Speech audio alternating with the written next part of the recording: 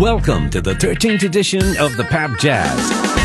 From January 19 to 26, get away from the cold and recharge your batteries on the warmth of Lacaille. The Pap Jazz Festival, an international scale event, hosts world-class artists from 15 different countries while showcasing the best of Haitian music and art. This year, enjoy in a peaceful yet fun atmosphere the Grammy Award winners Cécile McLorin-Salvant, Terence Blanchard, French Award winner Émile Parisien, and the talented Antonio Serrano from Spain, just to name a few. And from Haiti, Haiti, BIC, Paul Beaubrun, the unique Simbi, and the amazing Felicia Ross.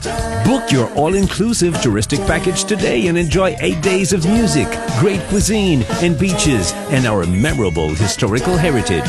Experience Haiti like never before at the Pap Jazz, a first-class event made in Haiti. Be proud of it. Be part of it.